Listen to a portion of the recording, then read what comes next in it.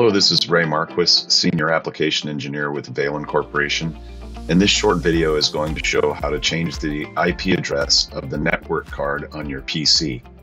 In many of the tasks we perform as application engineers, we have to change the IP address of our PC in order to match up with the devices that we're connecting to. So this short video will show you how to do that. On the screen, you can see a sample network with a PC, a PLC, and a network device that the PLC needs to communicate to. The simplest network and the one most common to be used when we're working with industrial controls on a simple machine is to have the first three numbers of the IP address set the same. That would be the network number. It's highlighted in bold on the screen. The last number is the node number of each device, and you can see that those are different for each device. So our goal here is to set up our PC to have the correct network number for the devices that we're going to connect to. I find it helpful to make a sketch similar to the drawing that we saw previously. That helps me keep the devices and their IP addresses straight without having to just rely on my memory.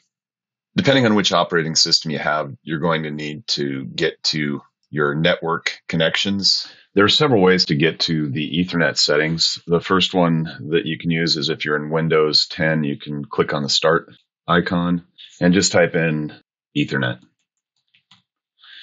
And at the top of the list comes Ethernet settings. If you click on that, you'll be brought to this window and you'll want to click on change adapter settings here. And that'll get you here. The next way to do it is if you look at the bottom here and show hidden icons, you'll see your Wi-Fi if you're connected to Wi-Fi. If you're not connected to Wi-Fi, this will be a globe or or some other symbol, but it'll say, you know, internet access here.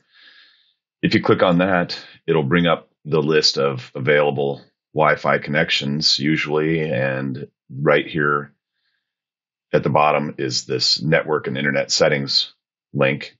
If I click on that, that takes me here and then I click on Ethernet, and then we're back where we were just a second ago. Change adapter settings by selecting that. You'll be back to your Ethernet settings here. I have several network connections here. My network cable is currently plugged in, and that makes this one the only one without an X on it. I know I don't need to change my Wi Fi, so I need to change this one. If I unplug my network cable, suddenly there's an X on it. This helps me identify which network port on my laptop I'm going to change. I'll double click on this icon. Then I'll select the properties button. And then double click on my IP version TCP IP v4. For most laptops, when you get to this point, this radio button is going to be selected to obtain an IP address automatically. That means that when you connect your wired Ethernet port to your business or your home router, it gets an IP address that makes your laptop a member of that network. What we want to do is click on this button to specify an IP address. And if you go back to the beginning of the video, you can see that my devices are on the network of 172.2190, 172.21.90 and then I want to make my laptop a, a node different than every other device on that network. So I'll just pick 101 and then click into the subnet mask and whatever it sets here is normally okay. The trick is that once you're done working with the device, if you use your wired ethernet port to get to the internet for browsing or email, then you're going to want to come back here and switch this back to obtain IP address automatically so that you can do that uh, when you're not working with the device that you're working with. So get to here, change the network address to the same network as your device, and then make the node number different from your device or any other device on the network. And you've successfully changed your IP address for your computer.